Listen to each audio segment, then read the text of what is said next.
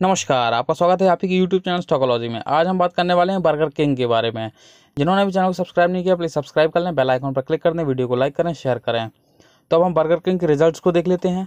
तो अगर बात करते हैं टोटल इनकम की तो मार्च क्वार्टर बीस में जो इनकम थी, वो एक हज़ार नौ सौ उनतीस मिलियन की थी और मार्च क्वार्टर जो इक्कीस में इनकम हुई है, वो एक हज़ार नौ सौ चौरानवे मिलियन की है। तो यहाँ पर हमें मार्च क्वार्टर बीस से मार्च क्वार्टर इक्कीस में हमें इनकम जो है बढ़ती हुई नज़र आ रही है।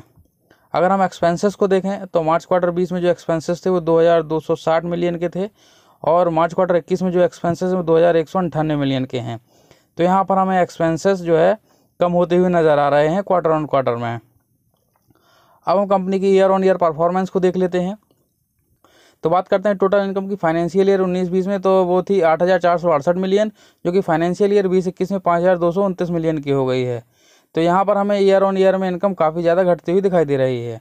अगर हम एक्सपेंसेस को देखें तो फाइनेंशियल ईयर उन्नीस बीस में नौ हज़ार एक सौ नब्बे मिलियन के जो एक्सपेंसेस थे, वो फाइनेंशियल ईयर बीस इक्कीस में छः हज़ार आठ सौ इक्यानवे मिलियन के हो गए हैं। तो यहाँ per year on year expenses भी हमें घटते हुए दिखाई दे रहे हैं। अब हम प्रॉफिट एंड लॉस स्टेटमेंट को देख लेते हैं। तो बात करते हैं लॉस बिफोर टैक्स की।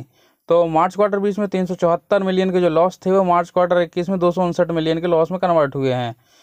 तो यहाँ पर हमें लॉस जो है कम होते हुए दिखाई दे रहा है प्रॉफिट बिफोर टैक्स में। अगर बात करते हैं लॉस फॉर द पीरियड की तो मार्च क्वार्टर बीस में तीन सौ चौहत्तर मिलियन के जो लॉसेस थे, वो मार्च क्वार्टर इक्कीस में दो सौ उनसठ मिलियन के हैं। तो वही जो टैक्स के पहले थे, वही अभी दिखाई दे रहे हैं। तो कंपनी के जो है लॉसेस तो हैं, लेकिन कम हुए हैं। अगर हम बात करते हैं ईयर ऑन ईयर परफॉर्मेंस की तो लॉस बिफोर टैक्स जो फाइनेंशियल ईयर उन्नीस बीस में सात सौ पैंसठ मिलियन के लॉस थे, वो फाइनेंशियल ईयर बीस इक्कीस में सत्रह सौ उनतालीस मिलियन के हो गए हैं। और अगर बात करते हैं लॉस फॉर द पीरियड की तो सात सौ पैंसठ मिलियन के जो लॉस थे, वो सत्रह सौ उनतालीस मिलियन के लॉस में कन्वर्ट हुए हैं। तो यहाँ पर टैक्स ज़ीरो दिखा रहा है। इस कारण से जो लॉस बिफोर टैक्स है लॉस आफ्टर टैक्स है, दोनों एक ही आंकड़े दिखाई दे रहे हैं। तो इस प्रकार हम देखते हैं तो हमें ईयर ऑन ईयर में लॉस जो है कंपनी के बढ़ते हुए नज़र आ रहे हैं, जबकि क्वार्टर ऑन क्वार्टर में हमें लॉस घटते हुए नज़र आ रहे हैं। अब हम कंपनी के एसेंशियल्स को देख लेते हैं तो कंपनी का जो मार्केट कैप है, वो छः हज़ार पाँच दशमलव छः सात करोड़ का है। नंबर ऑफ़ शेयर जो मार्केट में ट्रेड कर रहे हैं वो अड़तीस दशमलव तीन पाँच करोड़ है। शेयर का पी वी रेशियो पाँच दशमलव दो पाँच का है। कैश की बात करें तो अट्ठाईस करोड़ के कैश रिज़र्व हैं। प्रमोटर्स की जो होल्डिंग है वो बावन दशमलव छः नौ प्रतिशत की है। सेल्स ग्रोथ बत्तीस दशमलव नौ पाँच प्रतिशत का है और आर ओ सी माइनस दो दशमलव पाँच तीन प्रतिशत का है। एंटरप्राइज वैल्यू की बात करें तो छः हज़ार दो सौ सात करोड़ की एंटरप्राइज वैल्यू है। फेस वैल्यू दस है। बुक वैल्यू उनतीस दशमलव आठ तीन की है। कंपनी पर अगर हम कर्जे की बात करें तो दो सौ उनतीस दशमलव सात दो करोड़ के कर्जे हैं, जो कि कैश रिज़र्व से लगभग आठ से नौ गुना है।